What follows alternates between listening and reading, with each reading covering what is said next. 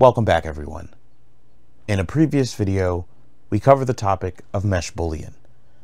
Towards the end of that video, I showed you some basic techniques to apply mesh boolean to your projects.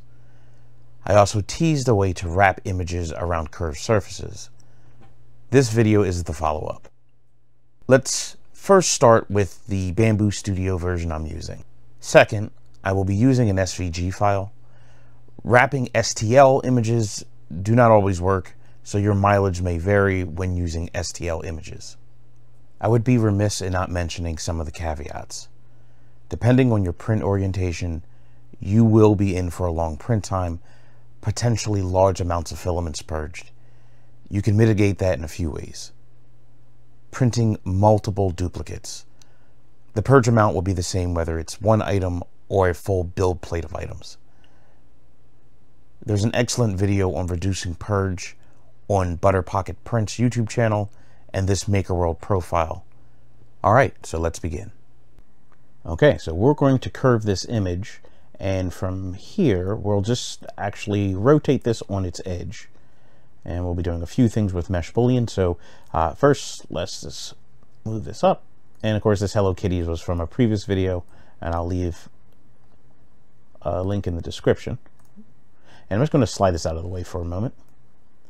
All right, so let's just create a simple primitive. So we'll just add a primitive and we'll start with a sphere.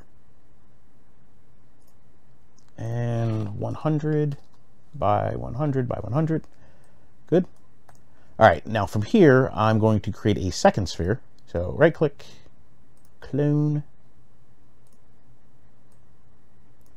and I'm going to knock this one down to 95. All right, so I'm going to assemble both of these. So let's just center that real fast. I'm going to hold control on both of these. You can also do this along the left side here, hold shift and highlight them both.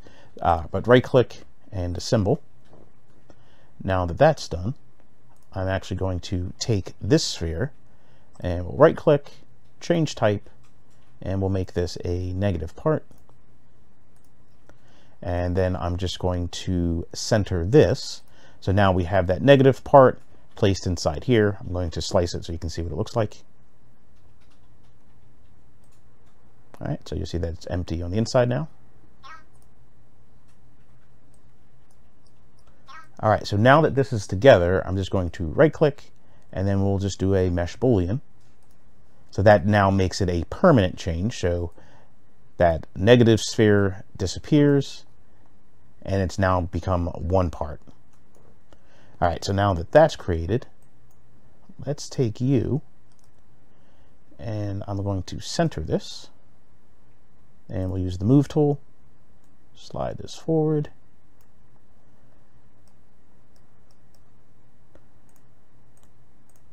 All right, and I'm going to move this up a bit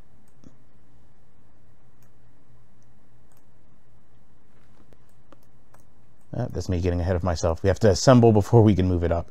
Um, actually, even before we do that, I'm just going to make this its own mesh boolean. Uh, since it's an SVG file with a bunch of parts, I'm just going to combine all of these parts uh, into one model.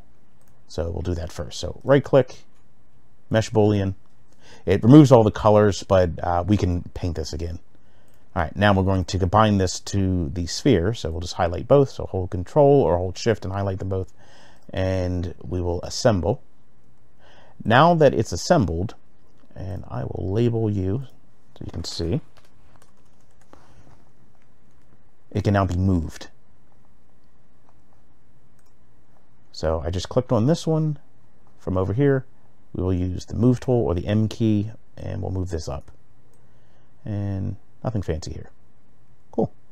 All right, now we, since we still have this selected, we're actually going to use the scale tool. And I'm just going to extend this out a bit. This is actually similar to some of my other videos where we're using a negative part and curving uh, text. So we'll just slide that in. And from here, we're just going to move this So I'm going to move this until it's barely sticking out. So right about here is fine. All right, so at the moment we are now um, sticking out here, probably penetrating a bit in uh, inside there, which is fine. And this is, of course, where our mesh boolean comes in. So we will make sure we're clicked on the model. Again, both of these are assembled. We will then go to our mesh boolean or the B key. And we want to do the intersection. So um, previous video I went over union, which is just a, a, combination, a permanent combination. The difference I just showed you where we took that uh, that negative and made it a permanent part. And then uh, the intersection is nice because we want to cut this out. We also want to cut out the part that's sticking out on the other side or the inside of this and just have the parts that's touching. So the, just remember the first part uh, when you choose intersection is the one that disappears. So we want to choose this one first. So this part's actually going to disappear. The second part, of course, would be the sphere. And from here, we can actually just hit uh, intersection. If we hit delete input, it'll actually delete the sphere, delete the kitty, and just give us the edge. But we don't want to hit uh, delete input. So we'll just hit intersection. All right. And now we just curve that. Now, depending on how you set this up, you might have some parts that's still sticking out. So you can use the move tool. So unlike other um, uh, Boolean uh, portions, you could have this combine. In this case, they're still separate. So we can take this intersected part. We can use the move tool and just bring it in a little bit and make it as flush as possible. All right. Now I'm pretty sure you guys are already familiar with painting, but we will paint this. So click on our model and we'll start painting. And we'll use the paint bucket. So here, here, here.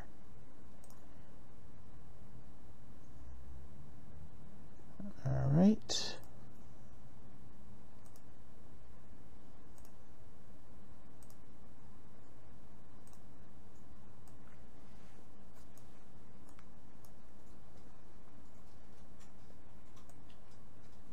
All right, that's looking good.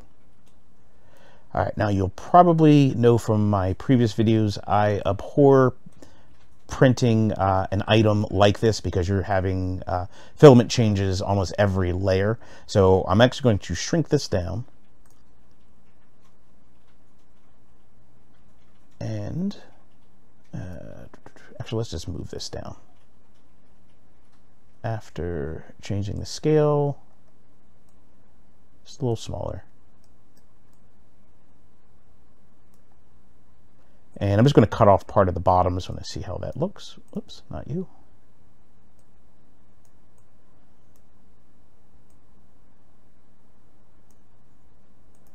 And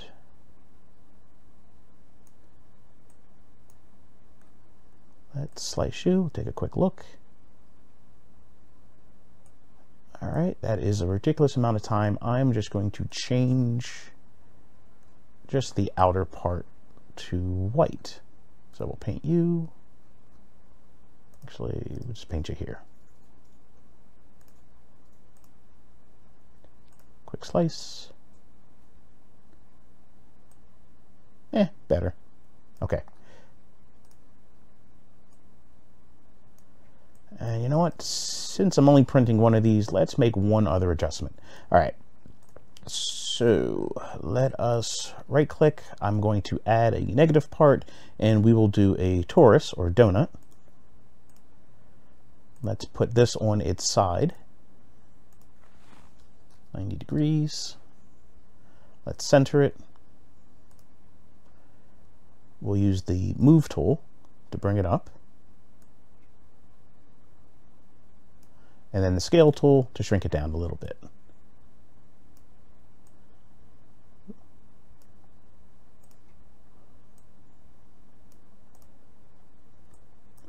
And when we slice, we'll actually have two holes at the top of this.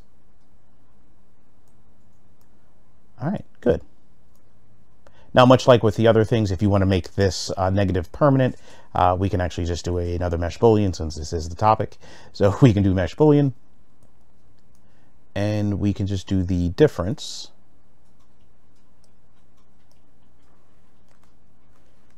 And when you're using difference, first part, second part, which would be this one, and when you hit delete input it'll actually delete the second one. If you don't do that it'll still leave it there but we don't need that anymore. So we'll hit difference and we've permanently added holes to this. All right so normally I can cut the bottom of this but I'm just going to sink it down and I will print out a copy and I'll show you how it looks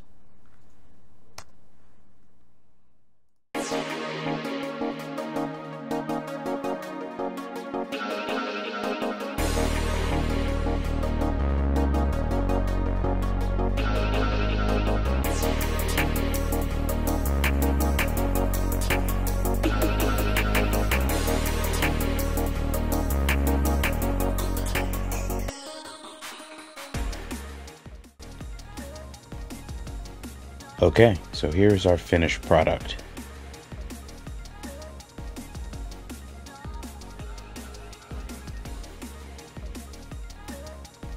And as I said before, I typically don't like printing these types since we effectively have to have a filament change every layer, in some cases several colors. But you should be able to take an SVG file now and extend it onto any curved surface. Thank you very much for watching, and if you have any questions, please leave them in the comments.